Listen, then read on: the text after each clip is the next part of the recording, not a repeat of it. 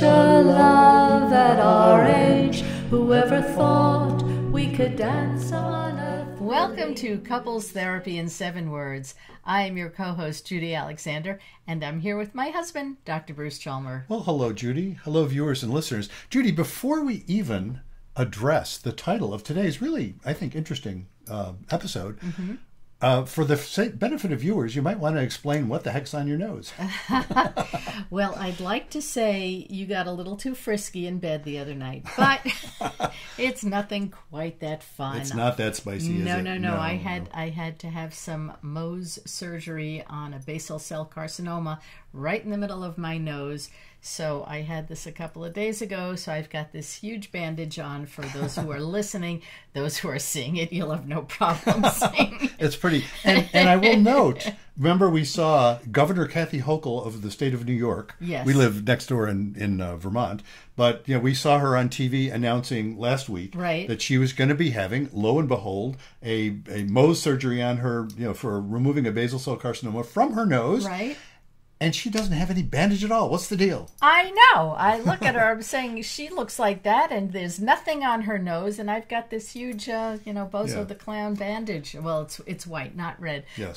But Then I think it. I suspect uh, the spot that she was dealing with must have been on the like on the side or something. well, she did in point to the side, but she still has nothing there. So I don't Yeah. understand how they could remove that when you know they had to slice me and dice me and do Now- all sort and stitch me and do all sorts of things like that. let me say for the benefit of, of viewers and listeners who might have you know be worrying about having the surgery I, I they let me be in this is this is as surgery goes you know you were wide awake of course there Mm-hmm. Was all of course. local anesthesia and as surgery goes i was i found it amazingly fascinating Uh-huh. i thought i would be you know creeped out or something it wasn't at all and they were thanks to the doctors at the uh, university of vermont medical center because they seemed to be very competent and very caring about you i think Mm-hmm. Yes, they took they good care of you Yes, they did. and um, and it was really fascinating to see. So they, you know, they did a good job. And thank God, basal cell carcinoma. If you have to have something in the cancer family, Right. it's the one to have. Right, and it's stage Yeah. one, so we caught it really early. So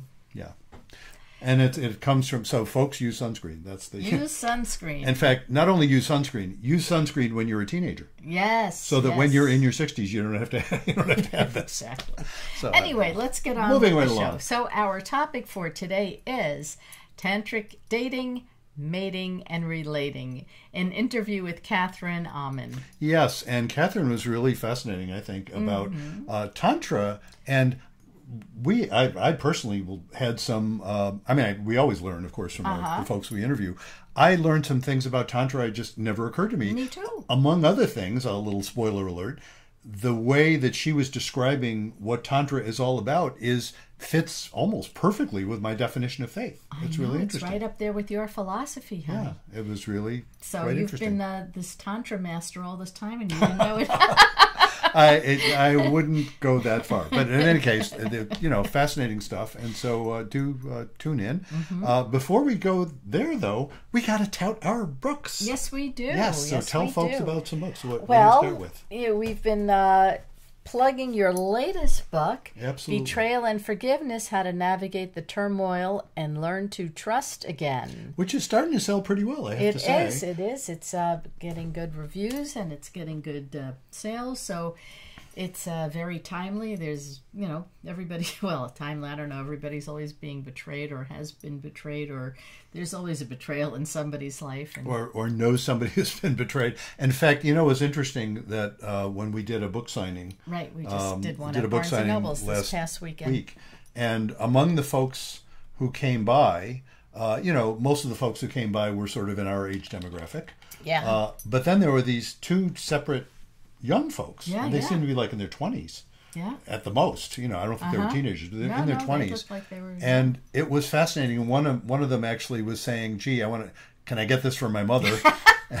and I and I said, I forgot how he said it exactly, but I said something to the effect of, "You know, if you're feeling like you want to give it to your mother, maybe you would benefit from it too." You know, and she looked at it and she she bought it. She bought it, yeah. she said, "Oh yeah," uh, because it's that sense of how do you cope with hard stuff that happens in families and couples, and, and, a lot uh, of stuff goes on. yeah. Um, oh, you know, I hear it from friends all the time. yeah, absolutely, From their children, from their parents, from siblings, from friends. yeah. You know. And and this book, uh, among other things, I I certainly think, and people have said, among other things, it'll give you hope. It'll give you a Mm-hmm. sense of okay, this is really hard. I don't I don't uh, trivialize it. I don't pull any punches. You know, of course it's hard, uh, but you can get through it. There are ways Right. you can get through it, and, and it just helps you know forgiving does Mhm. not mean forgetting people It think certainly that you doesn't. know you have to forget you're not going to forget but you can forgive And it, it not only doesn't mean forgetting, it doesn't mean letting somebody off the hook. It doesn't mean trusting even. right You can forgive somebody you don't trust, and you'll feel better, and then you can figure out what to do. right Uh, but yes, so do get a hold of my book and my other books too. You'll find those on Amazon. yes and the other books too oh, there's here, here comes some now. reigniting the spark why stable relationships lose intimacy and how to get it back which a chapter of which I mentioned in our in the interview Right, you're all about to see. it came up in our interview the the whole chapter on sex, intimacy. good sex, and sacred sex is in there. And then there's also it's not about communication. Why everything you know about couples therapy is wrong. Indeed. And of course, Well, we you- already plugged my book. Well, they- during the people haven't seen the interview yet. Up. Oh, That's that's, right. true. Yeah. So if you stay tuned for the interview because it does come up, the Blue Tent Erotic Tales from the Bible by Laria Zylber. absolutely. So let's get to the interview, and we'll the interview. we will see you on the other side. Our guest today is Catherine Auman. Catherine is a licensed psychotherapist with advanced training in both traditional and spiritual psychology, with 30 years of experience helping thousands of clients. Catherine's books include Tantric Dating, Tantric Mating, and Tantric Relating. She offers online workshops and trainings helping singles and couples create true love. Catherine, welcome to Couples Therapy in Seven Words. Thanks so much. I'm so happy to be here. Well, we're delighted to have you. Uh, we always like to ask our guests, how did you get into the work that you do? Tell us something about your own journey into this work. Well, um, like many psychotherapists, I had a difficult childhood, so I had to be in therapy for a long time to uh, heal myself from that. And I was in it so long, I thought, I really like this therapy process, and I made some progress. So I think I'd like to learn how to help other people with that. And in terms of the Tantra and relationships, um, that really started. I was in a bookstore in the late 70s and I saw this book that said sex is spiritual. And I went, doing. Of course How do you it spell is. that? Dwayne? yeah. It's like, of course it is. Uh-huh. It totally makes sense to me. What else would it be? So I Mhm. started on this journey. There wasn't as much information back then, but I started on this journey of trying to find out what that meant that sex was spiritual. And it's uh, led me some very interesting places in my life. Such as? Um, well, I um, lived in a Tantra ashram in India for a year, and that was a full-time immersion in Tantra and meditation. Uh-huh. And I've studied with um, probably all of the big name Tantra teachers. I've taken workshops with them, classes, and now I have uh, written, so as you mentioned, several books with tantric themes, and I'm now working on my PhD in what's uh, at CIIS in what is called transpersonal psychology, and I'm studying transpersonal sex. Uh-huh. People how who have, I'm sorry. No, How does how does Tantra meditation differ from other forms such as transcendental meditation or Well, some of the meditations we did there were very active. So we would uh, get our bodies very oxygenated, getting a deep breathing. We would dance and um, do these kinds of things because um, Osho, our teacher, said that Western people, if we try to sit down and meditate, our minds just start the monkey mind. Mhm. And basically, we're just sitting there in our own stew for 15 minutes or 20 minutes or whatever. And he said, if you can get the energy into the body, Hmm. then it's more likely once you're exhausted that your mind will actually go quiet, which is what we're looking for in meditation. Hmm. And also, Tantra is very much about our awareness being in the body and not just in our heads. Mhm. Yeah, that's that's one of the reasons like meditation never appealed to me because like to me just to sit down like you're right the the mind just wanders and goes in all different directions and Yeah, the, the physical thing sounds like something I might be able to get into. So, you know, for the for the benefit of our listeners, and I, I have a little knowledge about it, but not all that much actually. Uh, tell us about transpersonal psychology and, and also more generally sort of spiritual psychology as opposed Sure. to whatever would be considered traditional psychology. Sure. Transpersonal psychology started back in the uh, late 60s with the work of, well, actually, it started with William James, but that's in the 1800s. That So in the late, back, yeah. in the late 70s, um, there were people like Abraham Maslow, Stan Grof. People were um, up in the zeitgeist of the time, all the lookings at Eastern religion and humanistic psychology. And before psychedelics became illegal, they were tr- trying to use psychedelic drugs for healing and doing some research on that. And all of these interests outside of mainstream psychology came together and said, we want to study not only mainstream psychology, but also spirituality. Mm. And mainstream psychology at the time pretty much said, well, that's a bunch of woo woo and that's new age strange stuff. And we were like, well, we think it's um, a valid part of human development. And maybe it's the higher reaches of human development or the more expanded sense of self. So transpersonal psychology has continued to evolve as we study mainstream psychology, but we don't think that's enough. We think there's also spiritual search, unusual experiences people have.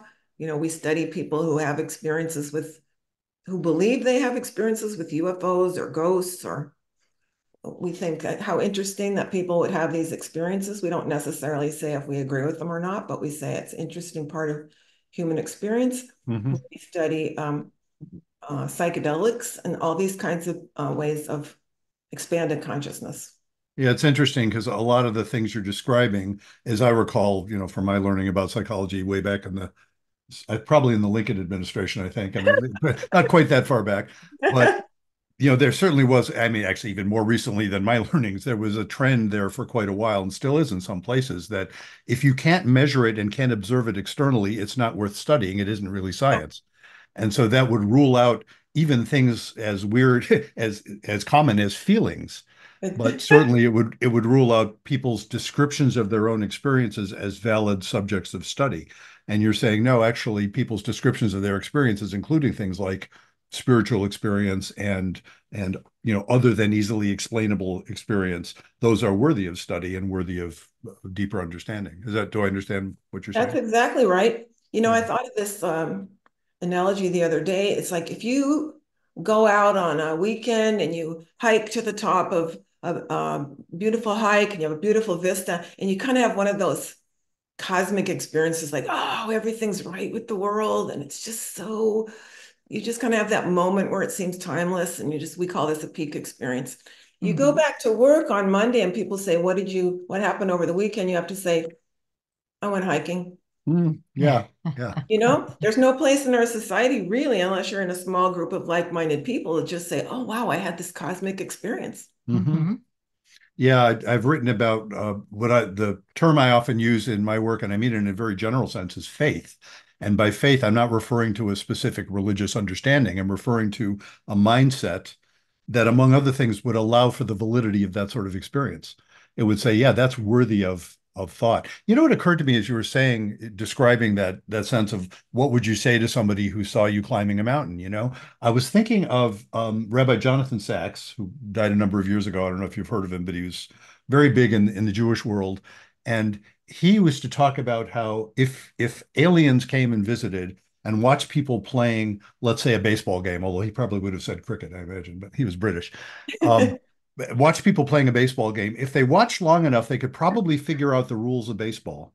But what they couldn't figure out is why anybody cares. They, they couldn't figure out okay I, I get i understand what happens what when and we figure you know we've inferred that from all the data but why do people cheer?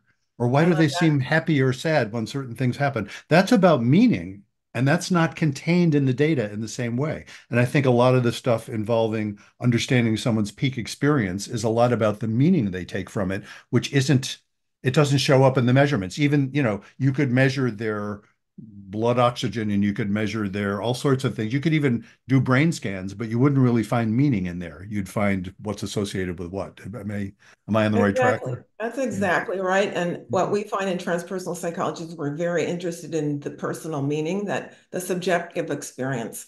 And mainstream science and, and psychology, mainstream psychology is really positioning itself as we are a science and we want only objective data. And mm. we're like, um, human beings are much more complex than that. We have meaning, we have faith that don't make sense rationally.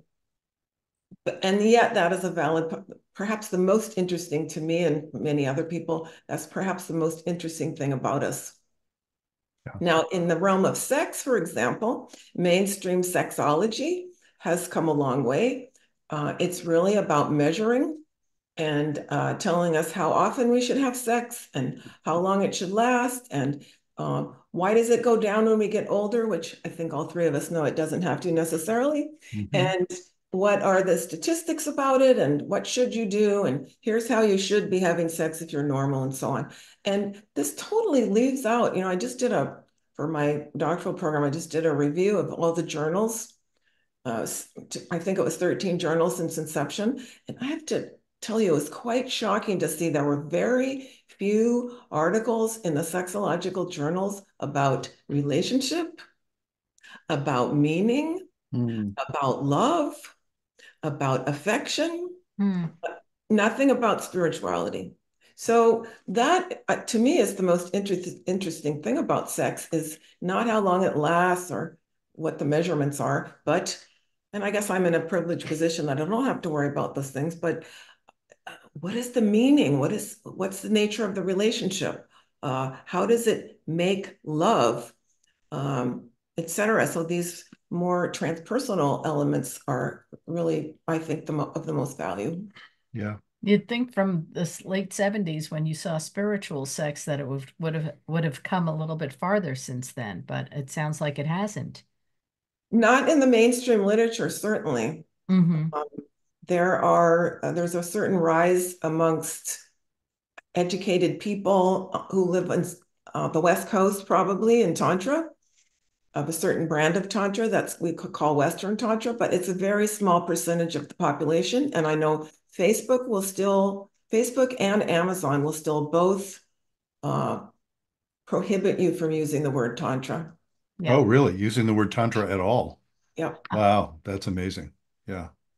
Yeah, we we are as as a culture, we are kind of messed up when it comes to sex. This is a story I've told in this podcast before, but a couple of years ago, I did a training. I was, you know, we have to get continuing education, as I'm, I'm sure you know, and so I was involved. I was sitting in on a training, uh, and it was a bunch of people. It was it was about couples therapy, mm-hmm. and the trainer asked, and it was on Zoom, so there was like a couple of hundred people there, nice. and um, the trainer asked, okay, how many of you routinely ask about sex in the first or second session?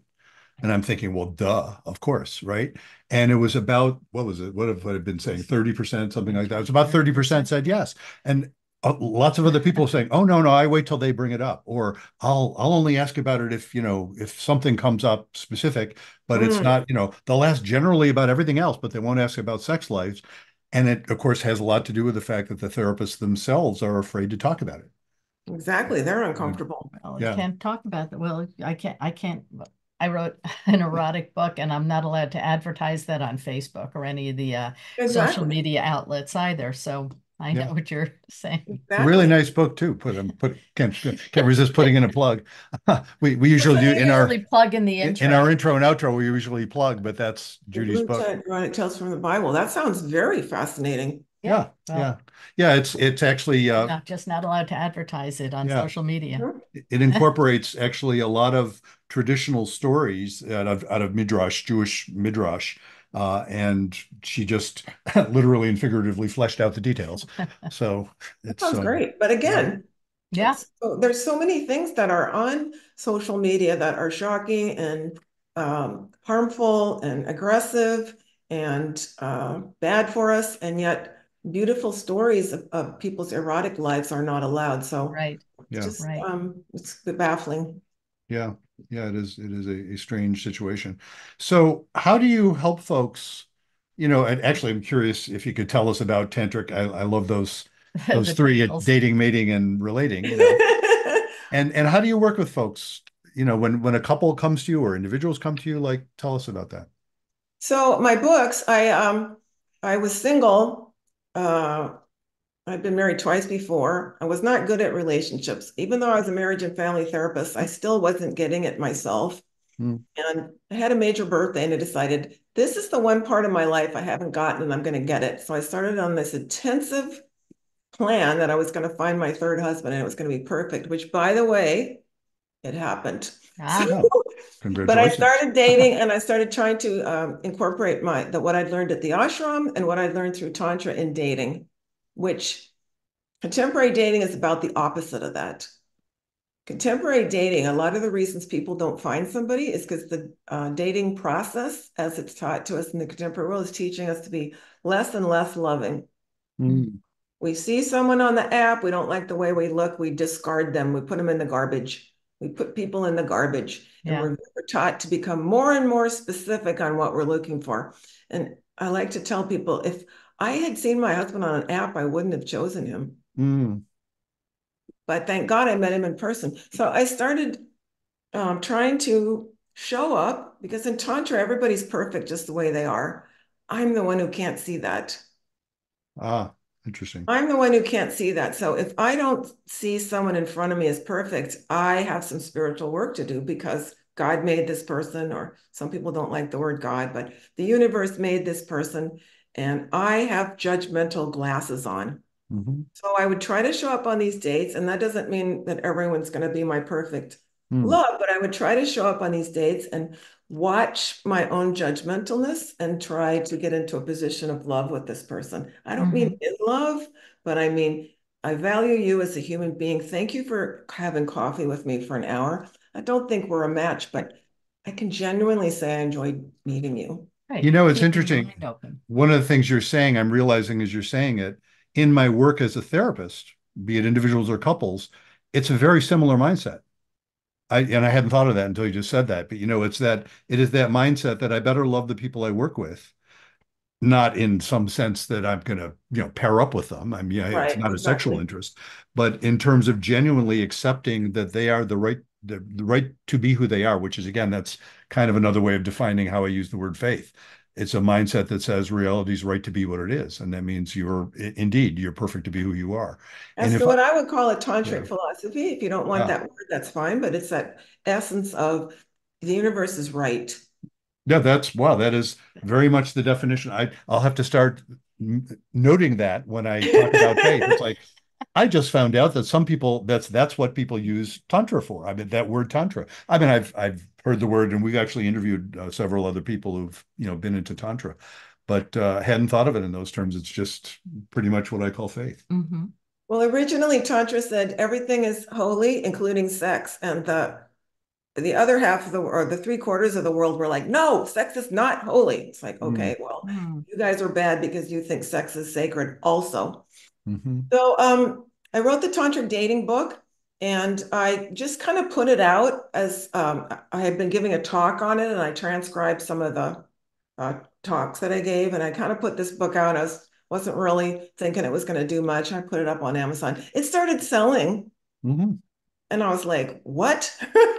And then it was during the pandemic, and I noticed that people were consuming content in uh, series. Ah, So yeah. like to watch The Queen's Gambit or The Uh-huh. Crown or whatever. And I thought, it's the pandemic. I'm stuck at home. What if I write two more little books the same size? And it Uh-huh. worked. They're Wow. bestsellers on Amazon in the in their category. Hmm. So so I That's really cool. That's great. Yeah. I, um, I wrote some tantric principles in there, and it seems that um, it's been valuable for people. Hmm So, like, what are some of those principles? I mean, in addition to what you said about, you know, starting with that mindset that we're all right to be who we are, what what else would you say? Well, in terms of couples and couples therapy, it's also my job to see that my partner is perfect. And that's going to come up all the time because I don't really think he is, or here's his flaws, or um, this is my relationships in the past, was really kind of looking unconsciously, but kind of looking for what's wrong with the other person and then letting them know they should fix that. Mm. That's not a very successful strategy. but I see it What, all what the was the name of that play? I, I love you. You're perfect. No change. Right. Yeah, that was, that was a Broadway play a couple of decades ago. That's think. perfect. That's Yeah. perfect. So I kind of start with couples by bringing them back to what's that heart connection? Mm, So we used to do exercises at the ashram where we would sit and stare into each other's eyes for I don't know how long it was because it gets very timeless, but maybe it was 20 minutes. And everyone would be crying like babies because you cannot help but fall in love with someone if you really look deeply into their eyes. mm, Who they are drops away and you're just in love with this person. So I often with couples in the first session, if it seems right, we'll ask them to just look at each other. And they may not have looked at each other for a long time. And mhm. they'll just come back because when you really look in someone's eyes, the heart opens and they remember. And I, maybe I'll kind of guide them to remember what that connection is without all the stuff that's come up through the years or with all that stuff we think is wrong with the other person, all of our hurts and wounds, and we just connect. And we remember that we have this special bond. And once they can remember that, if they can, some if they can't, then actually I haven't had anybody yet who hasn't been able to, but Ah, um, even if it's just for that moment. And then we will start to say what's going on, what are the issues, just like we would in regular uh, couples therapy. But I would ask about sex in the first session and really see that as a way that we always have available to connect. Mhm. We don't necessarily have to have intercourse or do a whole ritual or anything like that. What we can just start by touching affectionately, maybe laying uh, nude together, just cuddling, or many ways we can connect. Remember that we're sexual beings. Uh, even if we're feeling distant at this moment, we can start with those small connections. mhm. Yeah, it's interesting. I I work with a lot of couples, and it actually just just met another one the other day where, and this is relatively unusual, but not, you know, not unheard of, where they will say, the one thing we have going for us now is sex. Mm, You know, usually if if their life in general is kind of all messed up and there's been infidelity or other kinds of betrayals of one kind or another, they won't say that. They'll say, "Oh yeah, well, we, we had a sex life ages ago," but you know, but every once in a while, I will meet a couple and they'll say, "No, that's about what we have. That's that's our remaining connection. We we mm, fight. Other than that, we fight all the time. Other than that, we have all these difficulties. But at least we can still connect sexually, and sometimes that is a way back to each mm. other. Yes. And sometimes it isn't. You know, sometimes they come to recognize, wow, we are two fine people and we're even sexually compatible, but not in any other way, and that may you Mm. know, tends not to work. So That does that well. Does that happen in your sessions where couples are lying with each other naked and touching? Oh, no, that not at all. Okay. Not at all. Uh, since the pandemic, I only work over the internet. So Uh-huh. that would be something more that I would recommend for uh, homework. Mm-hmm. Um, just suggest that they get back to trying to cuddle. Mm-hmm. Um, because in Tantra, we don't want to uh, actually have sex unless we're feeling really friendly towards the other person. Mm, Sure. yeah. We want to establish that I'm safe with you. Um, you're my best friend. And, you know, like the Gottmans say, you want to, if something's wrong, you want to start with the friendship level. And I really agree with that. And my Tantra training really agrees with that. It's like, um, you, you have the best sex with your best friend. This Mm, whole idea that they're two separate things, we don't, we don't buy into that at all. mhm. So we might start by establishing the friendship. That's why it would just be maybe laying together, cuddling, soft touches, um, not going into what conventional, not going into the conventional model of, you know, wham bam, thank you, ma'am or sir. I, that's very interesting, Bruce. I just wonder uh, how you work with a couple that's connected sexually, but not any other way. Yeah, I mean, well, I, I work with them pretty similarly to other folks. A lot of, I mean, there's a lot of ways I suppose I could describe how I work, but a lot of it is sort of sniffing out meaning. You know, a lot of it is sort of understanding, first of all, opening up possibilities for different understandings. And, you know, I I, I always like to, um, or often like to mention Jill Bolte Taylor. Do you know who she is? Mm-mm. You you may recognize the um, her viral video is called "My Stroke of Insight." Uh, she's a neuroscientist who uh, in her 30s, she's now in her, I guess in her 60s now. In her, she's probably yeah, somewhere in your your age range. Um, the uh, when when she was in her mid 30s, she had a, a severe left hemisphere hemorrhagic stroke, and it kind of wiped out most of the functions of her left hemisphere for a number of years. Who better than a neuroscientist to then write about that? Well, one of the things she then discovered in in getting back her left hemisphere was how optional getting pissed off is, for example. And what she noted, she so her first book was called My Stroke of Insight. She talked all about that experience. Her second book, which was many years later, just came out a few years ago, was called Whole Brain Living. And her whole idea is that we are all multiple people. Hmm. Just in terms of brain structures, we are at least four different people, and she gives them funny names for herself. Suggests that we give them funny names for ourselves. I remember I asked you what what you'd call your four. You remember what right. you said? John, Paul, George, and Ringo. I love that. It, it totally made sense. And and you know, there's something to it. It's like that that the fact that the Beatles were how they were was a lot because they all did kind of represent these different aspects of a person. You know, it was kind of neat that way. So that phenomenon that we are multiple people this, this relates to that your question about well, what do you do with folks who are they're only connecting sexually? They're the the the most um the most connection they're experiencing consciously may be sexual, but there's all this other stuff going on that doesn't get a lot of airtime. And I I invite them to sort of investigate some of those other aspects of who they are. Because, you know, whatever their narrative is, and here I'm, I'm falling back in my old training in narrative therapy back in the day, whatever narrative is going on is not the only possible story. Right. It's it may be dominant, it may be problematic because it's so dominant, but there are other possibilities that exist that often get sort of you know um, pushed out by the dominant narrative. Hmm. So that was kind of a, yeah. I'm very curious about that. You know, um, shoot, isn't it Schnarch?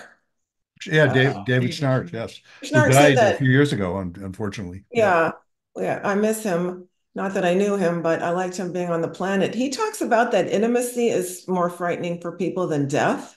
Mm-hmm. And I just wonder if you're only connecting with your partner sexually, if you're really having intimate sex. I, I'm guessing not. I'm guessing not. Reason, yeah, because and it's funny. I wrote a chapter in one of my books called "Sex, Good Sex, and Sacred Sex." Nice. And, and what I call good sex, really, would it would be intimate sex. So in other words, plain old sex is whatever you think it is, and it's Fine. it's the physical stuff. Yeah. Good sex is when you actually show up. So that's intimate sex when you actually show up physically, spiritually, emotionally, and present. Sacred sex is when you are then able to get outside of yourselves. Actually, it's sacred sex when it's it's not just about the two of you anymore. Yeah, the you know, divine about, enters. Yeah, connection with with much bigger forces.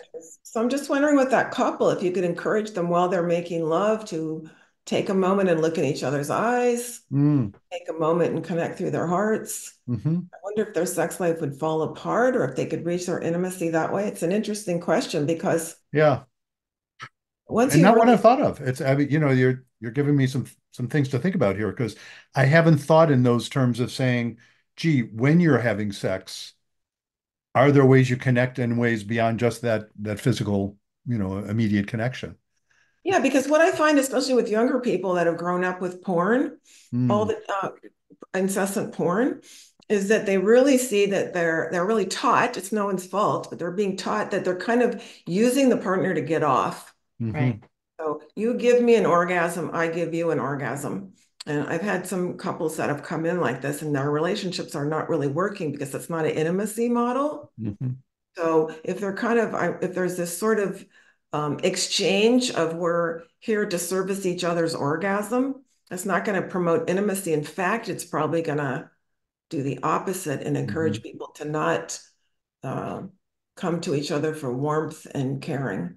Mm-hmm. If you can make a gross generalization like that, but um, yeah, sounds sounds a little painful and cold.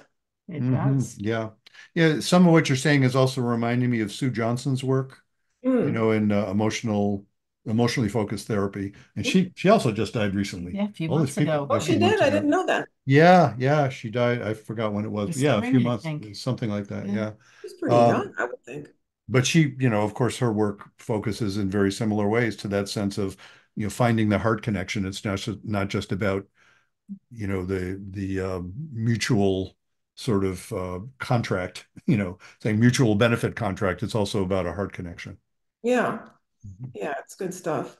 Yeah. So I try to help couples remember that and get back to that place where that still lives. If it doesn't still live, then maybe it's maybe it's over. But mm-hmm. I'm uh, the couples I have worked with have been able to reconnect with that place. Doesn't necessarily mean it saves the marriage, but it does bring them back to that place where, oh, I remember you. To me, that feels like it's on a spiritual level. Mm-hmm. Like we know each other spiritually, even if our personalities are having trouble getting along. Yeah.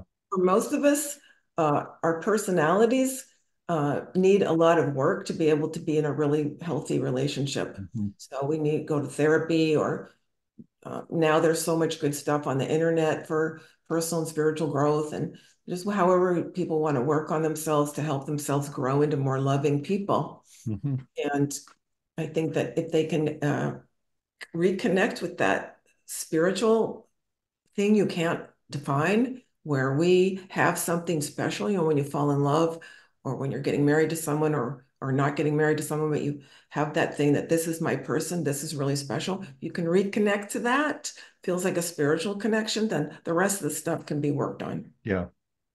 I've noted the one thing that I've I've said to couples, you know, there's three of us in the conversation, me and the couple, and I say, well, the one thing I know about all three of us is we're all annoying, and, and and we're of course we're all annoying, and so one of the you know the relationship skills one needs is the ability to be mildly annoyed. And that, like that's that. what I claim is the solution to all of all relationship problems: the ability to be mildly annoyed. You know, I, I like and I, I, often say, I mean, you're not annoying, but I, God knows I know I am. And, and you're very gracious. Judy's very good at being mildly annoyed with me because God knows I'm annoying. You know, and she's very nice about it. So that's it's fine. That's why we get along. You know. that phenomenon uh, actually i was also thinking about another thing that uh, david schnarch wrote about a lot and uh, it's i've gone i've been saying this for years too and i got a lot of that from his work um, tolerating anxiety is the key to intimacy. The chief skill like of intimacy that. is tolerating anxiety rather than avoiding it. I like that. And precisely because, you know, if you think about those couples that are trying to find that heart connection and that that sacred connection that they have, in the presence of the fact, I mean, not to trivialize it, but just being annoying, there's that. And then there are things that are way more than annoying. There's things like betrayals. I just wrote a book about betrayals. Mm. Yeah, the the fact of and I actually am sort of curious if you work with folks, you know, I, my um, my naive guess, and I could be wrong about this. My naive guess is that people aren't going to someone like you talk, who are talking about, you know, tantric relating, if they've just if they're dealing with infidelity or something like that. I could be quite wrong about that. I'm curious. Do you get folks who are dealing with big betrayals of that sort?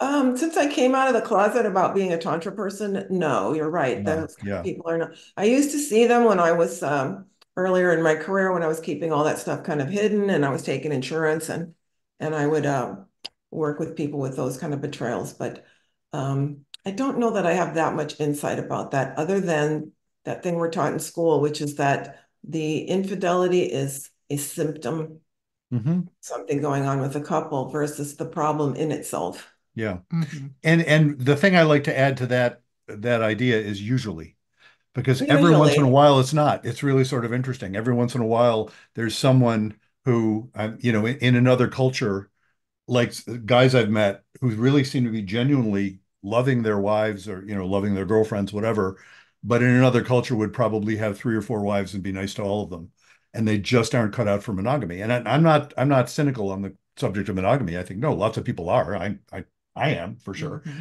You know, that's who I am but there are plenty of people who aren't and that's it, it isn't about you know it isn't about like well what was wrong with the couple? Well nothing except that if the other person was looking for monogamy you're not going to get it from this guy you know? You're right. I think that's kind of naive what i said because actually i am working with one client who it's cultural for him to not make love to his wife but to see prostitutes. And if he oh, starts wow. doing that his guy friends start thinking there's something wrong with him because in his culture that's how you do it.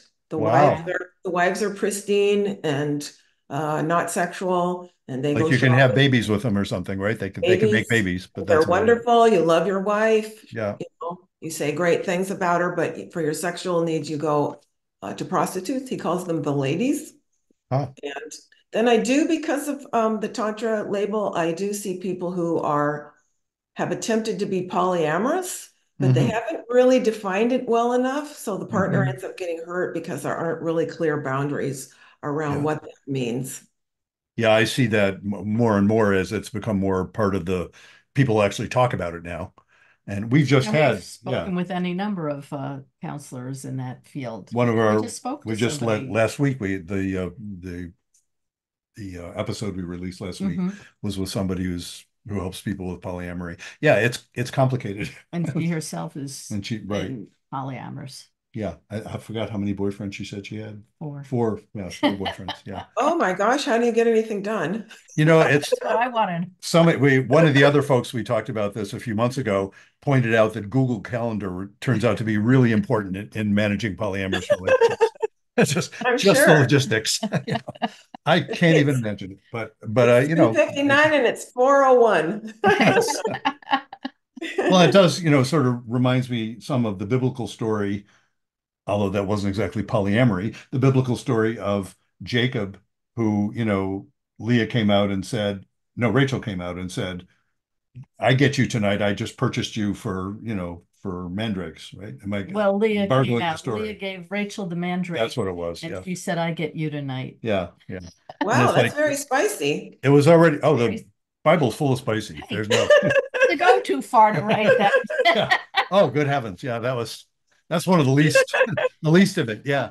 Uh, but no, just that phenomenon. It's like, yeah, it's really complicated to, uh, well, that, you know, in, uh, certainly in Jewish culture, Mhm. um, at least among Ashkenazim, they outlawed, it was about a thousand years ago, they outlawed poly, uh, polygamy, Yeah. because it was just way, way too complex. The, the, the rabbi who wrote that decree was having a hard time with his two wives. And I think that was part of the story. It's like, nah, we, we just shouldn't do this anymore. Yeah. So what else should we be asking you about? Um, I do some, uh, my husband and I do some, well, one, thing I want to talk about is that um, my husband and I had some transpersonal sexual experiences when we met. So we had some sort of mystical experiences while we were making love. And this really catapulted me into wanting to study people who have had these kind of mystical experiences. There's actually some good articles on uh, uh, uh, Christian and uh, people from I'm not, I'm not sure if it's the Jewish tradition as well, but they've asked pe faith-based people also, um, does God come in while you're making love? Mm. And there's not a lot of studies on it, but there's very compelling evidence that a sizable minority of people will say yes. Oh, I'd If say yes. there's three people making love, God comes in Yeah. and is the third party. Mhm. And so my husband and I had some uh, experiences like that when we first met, and they lasted for a year and a half. So I went back. That's one reason I'm getting my doctorate, is try to study more about this thing that's completely not spoken about. Mhm. And um, one thing that we noticed was connecting that intimately and deeply and being open, as you would say, in a faith-based way to inviting the divine into our lovemaking. We turned, before we met, we were both people who had not been very good at relationships. And Mhm. we're both kind of hoping we would find something that wasn't as bad as before. That was our big Don't we all? It, it's a start. And instead, we have this perfect relationship. Mhm. And I think be, spending that much time in the presence of, of an expanded reality, of love, of faith, of di- divine sexuality, it it helped us evolve as people to really be able to see my partner as a manifestation of the divine and treat him so. And you know, I was kind of annoying before. I'm sure, sure I can still be annoying, but I'm less so uh, uh, having by going through these experiences of tantric sex, of Mhm. making love in a way where the divine is invited, and it's not just for getting off; it's for experiencing this uh, expanded reality that being making love with a person can bring you to. Mhm. And I really want to share this uh, message with anyone who wants to listen, which is that there's there's higher purpose for sex if you want it to be. If you want to just use it to get off, that's perfectly fine. It's obviously fun and enjoyable. And if you want to take it a little further, it can actually uh, have a healing effect on your relationship. Mhm. Can have, have a healing effect on you and on your uh, love making. I remember one time uh, Greg and I were making love, and I said, "Oh my God, this is why they call it love making because Mhm. we are literally making love." And I just kind of thought I was making love before. I thought, "Oh, this process actually makes more love between the couple." Mhm. Do you feel that you were able to experience that because he, he both you and he were open to it, whereas past lovers or past partners didn't have that same feeling or thought or belief that you have? I believe I'm really still investigating that. I'm not sure why this happened to us, but we had both been open to these kind of experiences before. Mm-hmm. We had both been open. We both had faith, as you would say. We both had had peak experiences before. So um, they do say in the research that people who have had peak experiences are more likely to have them again. Yeah. I think because we both were so uh, open and looking for somebody, and we're both spiritual people, and we'd had uh, peak experiences before. I think I don't know. I don't know if we were chosen or I don't know what happened. Still a mystery, but a great mystery, and hopefully something that uh, can help other people as well. Mhm. Wow. Well, that's a nice note to end on. Yes, it is. Uh, tell tell folks how they can reach you. Um, I am in all the usual places. I'm on social media, Instagram, Facebook. I have a, a large YouTube channel if you want to get some little hits of stuff. Mhm. And um, my website is my name, catherineauman.com. I also have a newsletter you can sign up for, all kinds of stuff. So I would love to share with you if that would be useful to you. And I will put that information in the session notes, in the session notes, in the episode notes. Talk like a therapist, don't I? In the episode notes for this uh this podcast. Well, thank you so much for doing Thank you, this. Catherine. So much. It's been a pleasure. Welcome back. We hope you enjoyed that interview with Catherine Auman and learned about dating, mating, and relating in the tantric world. Absolutely. And so uh, her information will be in the notes for this episode. Mm-hmm. Uh, and gee, what else should we say? Buy our books. Let people know about this podcast. Would you give us a rating and a review and follow and Tell your friends. all of the above? Uh, absolutely. And still, and so until next time, Remember, be kind don't panic. and have faith.